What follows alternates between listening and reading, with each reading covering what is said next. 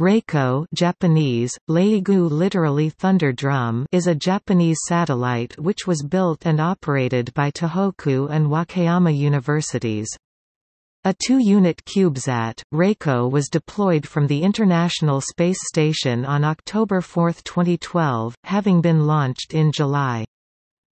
Raiko was launched aboard the Kounotori 3 spacecraft, atop an HIIB carrier rocket flying from Pad 2 of the Yoshinobu Launch Complex at the Tanegashima Space Center.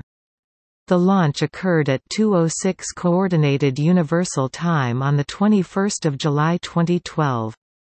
Four other CubeSats were launched with Raiko, WeWish, Niwaka, TechEdSat and F1. The five CubeSats was delivered to the International Space Station for deployment.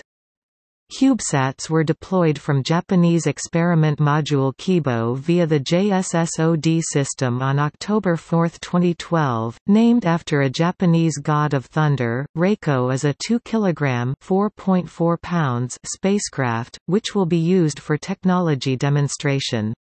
It carries a camera with a fisheye lens for Earth imaging, a prototype star tracker, a deployable membrane to slow the satellite, lowering its orbit, a photographic system to measure the satellite's movement relative to the International Space Station, and a Ku-band antenna for communications and Doppler ranging experiments.